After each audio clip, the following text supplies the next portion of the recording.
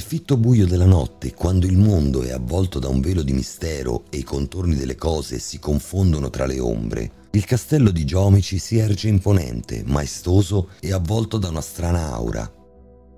Si dice che il castello sia popolato da presenze invisibili, creature che danzano tra le rovine del passato, custodi dei segreti sepolti nell'oscurità dei secoli.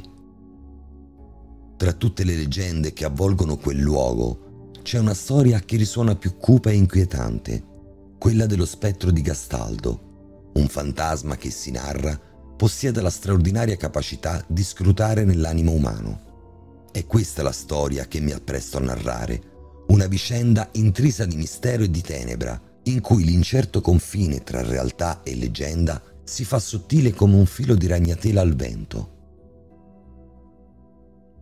Il maestoso castello di Giomici sorge nei pressi di Gubbio ed è un baluardo eretto nell'undicesimo secolo con l'intento di sorvegliare i confini della Valle del Chiascio e difenderla dagli attacchi dei suoi storici rivali, Perugia e Assisi, nemici accaniti della città.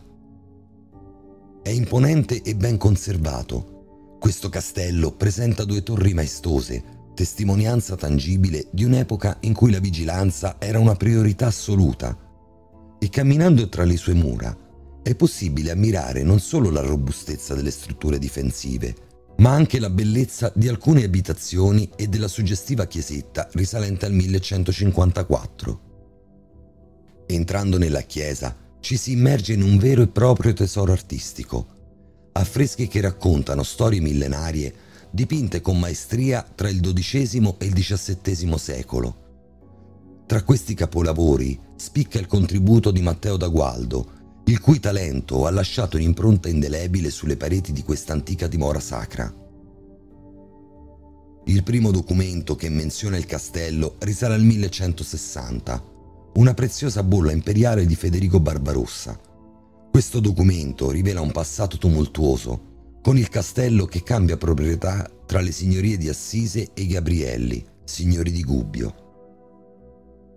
Durante il Medioevo questo luogo fu teatro di aspre contese armate tra le potenti città di Gubbio, Perugia e Assisi.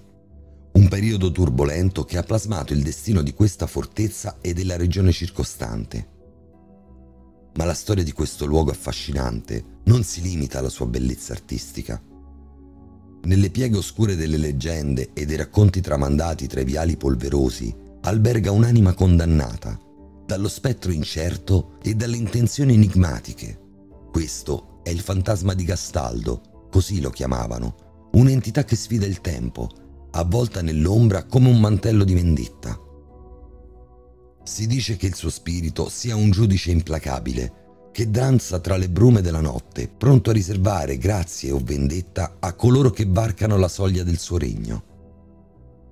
Nel torpore delle notti senza luna, Alcuni hanno osato incrociare il suo sguardo smorto riflesso sui vetri ormai opachi delle finestre del castello di Giomici.